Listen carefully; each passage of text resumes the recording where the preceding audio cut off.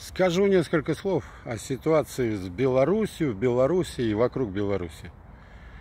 Является ли Лукашенко, так сказать, злом? Ну да, и сомнений в этом нет никаких. Дальше вопрос, является ли он э, большим или меньшим злом, чем то, что наступит при, как говорится, его отсутствии. Дело в том, что как только в Беларуси исчезнет диктатор, сразу исчезнет белорусский суверенитет. Ну, можно сказать, да и хрен с ним, с суверенитетом, зато заживем как люди. А кто-то скажет, эй, нет, суверенитет это хорошая вещь. Нам не хочется жить, так сказать, под кем-то, плясать под чью-то дудку, там, э, выполнять чьи-то задания. Но, к сожалению, если мы на условной шкале от Северной Кореи протянем, значит, некую, так сказать, линию западной демократии, то понятно, что ни Россия, ни Беларусь никогда не будут точной копией Северной Кореи или там, скажем, такого восторга, как вызывает там лидер северокорейский или туркмен Баши, у нас, у наших народов столько не будет. Вот. Но с тех пор, как Россия, э, так сказать, отчленилась от э, Прибалтики, Украины и Беларуси, Россия все-таки в большей степени Э, восточная деспотия, чем западная демократия. А вот Беларусь как раз вот по своему составу населения, историческому прошлому, как фрагмент Великого княжества Литовского, разумеется, более западная страна. Но не настолько она западная, поскольку довольно долго подвергалась так называемой русификации. Отчасти насильственной, отчасти потому что ну, после того, как три раздела Лети Посполитой произведены были, в 18 веке белорусская знать, шляхта, магнаты, ну, имели варианты быть либо повстанцами, ссыльными или иммигрантами, либо стать частью российской элиты, то есть дворянами. И поэтому, как говорится, народ свой предали, а России стали близки, и многие, так сказать, знаменитые ученые, поэты, писатели, художники, полководцы, политические деятели, они как раз по происхождению литвины или белорусы. Поэтому есть куда вернуться, есть, э, так сказать, чем заняться.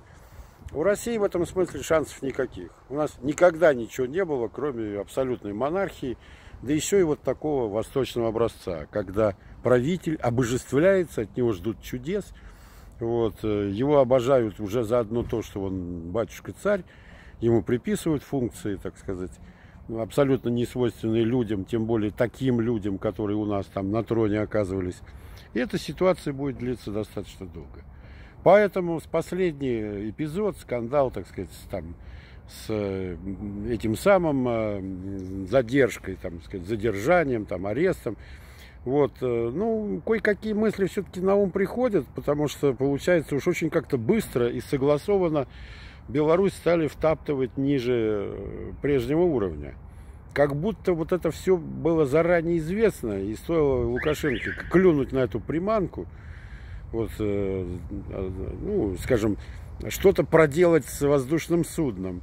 Обычно реакция все-таки на подобные вещи от всех диктаторов, ну, более притупленная.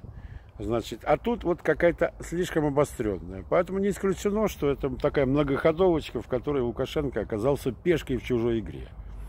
Но э, в который раз скажу, что он мне напоминает э, анекдот, когда спрашивают, э, что делать с э, ребенком, который вот в родовые пути входит не головкой, как положено, а боком.